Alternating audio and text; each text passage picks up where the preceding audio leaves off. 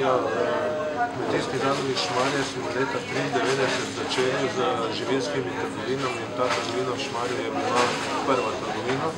Potem smo jih na nadaljevanju odprli še štiri, določene obdobje smo jih imeli celo dodatnih pet, ampak danes imamo vseh skupaj trgovin pet manjših podeželskih trgovin. Ta Šmarjev je največja in je skozi vsa ta leta dobro poslovala, ampak ker govorimo o več letih, od leta 1993 do danes se pa seveda tudi pojavila potreba po prenovi in to smo zdaj v mesecu februarju in marcu naredili in danes z veseljem ugotavljamo, da smo se prav odločili.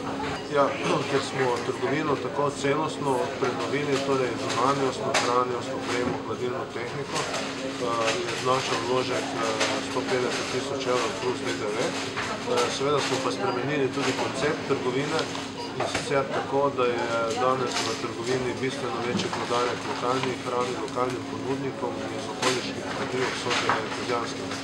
Zaenkrat sodelujemo z 20 kmetijami iz naše okolice, so pa naše vrata odprta še za druge in tudi pričakujemo, da se bo v naslednjih tednih to število povečalo. Tudi sedaj ni čas sezone, ko bo sezona sadja, zelenjave, bo teh ponudnikov še več in te hrane na naših policah še več.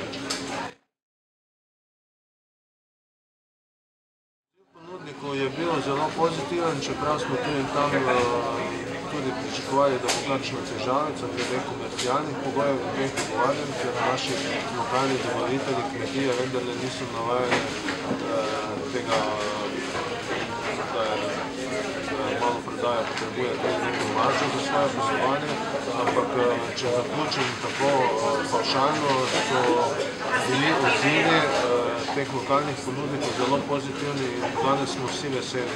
Mi smo veseli, ker se ta roba njihova prodaja in oni, ker jih dnevno kličemo, naj pripeljejo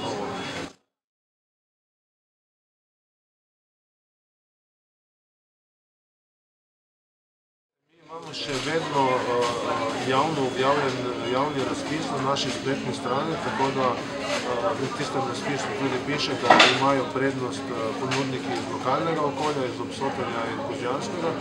Poudarjam, da imajo pač prednost, to ne pomeni, da če je kdo izven tega območja, da ne bi sodelovali.